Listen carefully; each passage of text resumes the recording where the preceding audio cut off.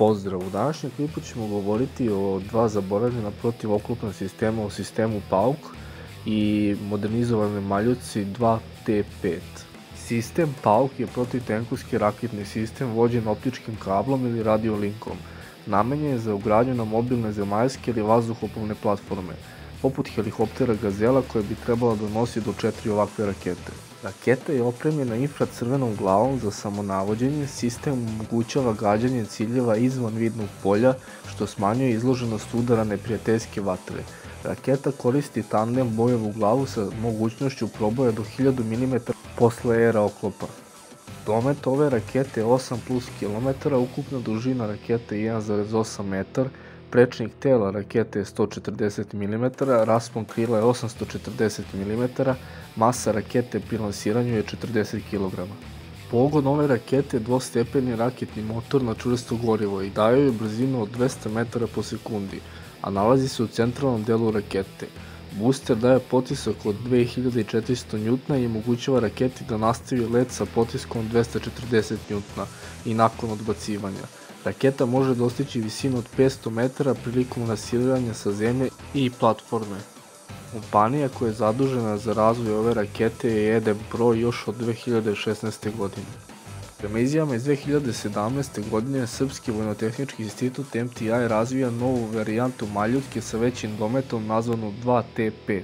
Za ovu varijantu 2T označava tandemsku visokoeksplozivnu protivtenkovsku hit bojevu glavu, dok 5 predstavlja novi maksimalni domet od 5000 metara. Maljutka 2T5 je duža i teža od rakete rane generacije Maljutka proizvedenih u Srbiji i opremljena je tandemskom hit bojevom glavom nove generacije za koju MTI tvrdi da će moći da prodre i do 1000 mm čeličnog oklopa zaštićenog eksplozivnim reaktivnim oklopom ERA. Maljutka 2T5 takođe ima i novi dvostepeni motor. 2T5 ima poluautomatski sistem za navođenje direktnim vidom sa komadama na raketu iz lansera sprovedenim preko radiofrekvencijonog kanala, a ranije verzije Maljutske koristile su ručno komandovanje za navođenje žičanim vodovima. Prema MIT-u probna paljba 2T5 već izvedena sa statičkog nosača, mada vremenski raspored faza razvoja i proizvodnja nije obelodanjena. Proizvodnju maljutki u Srbiji se bavi Krušik Holding Corporation, a izvozni marketing sprovodi Jugo Import.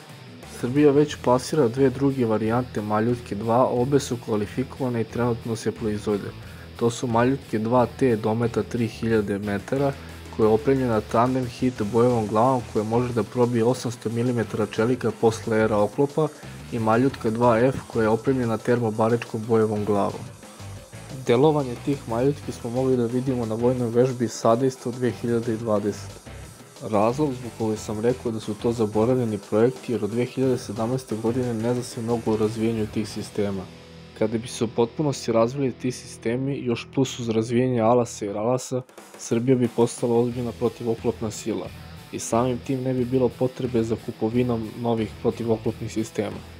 Ako imate šta da dodate, ako se slažete ili ne slažete, napišite u komentarima. Hvala vam na gledanju.